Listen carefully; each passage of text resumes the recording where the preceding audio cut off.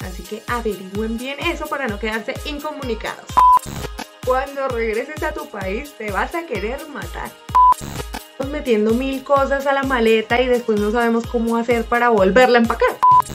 Anda, bienvenidísimos y bienvenidísimas, los saludo a Faisal. Hoy te traigo tres travel hacks que te van a encantar, además de ser muy útil si tienes un viaje próximo.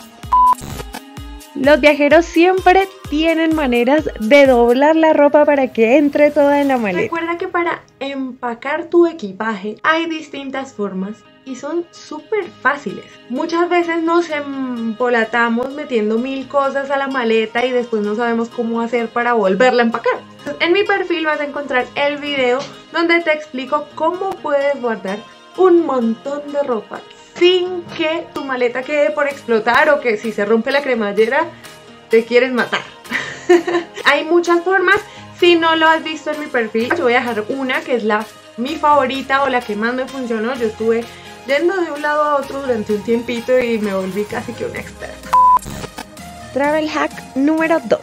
Por favor, no vayas a activar el roaming internacional si tienes plan de datos.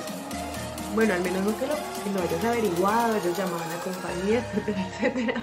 Porque seguramente cuando regreses a tu país te vas a querer matar. vas a poder hablar en el otro país todo lo que tú quieras, pero recuerda que eso no está incluido en tu, en tu plan. Así que vas a tener un cargo excedente por esos minutos internacionales. Así que lo que yo te recomiendo es tener tu celular liberado si vas a viajar por un periodo más o menos amplio. Segundo, comprar una SIM card y averiguar obviamente cómo recargarlo.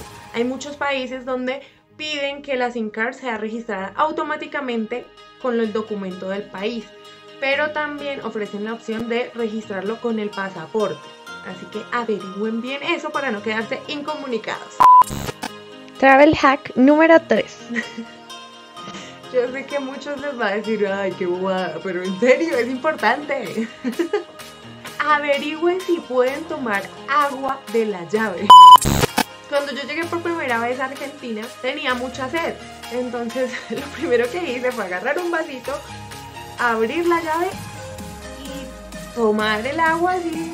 Estaba muerta de sed. Pues para mí era algo normal.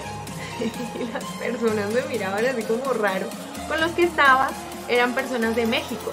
Entonces era como que en serio estás tomando agua de la llave, qué asco, te vas a morir, yo no sé qué. Pero no, pues en Argentina el agua tampoco es que sea súper potable, pero no te va a hacer daño. No como en México. En México me contaban mis compañeros o mis roomies que no es posible tomar agua de la llave porque te puedes morir literalmente de lo contaminada que está.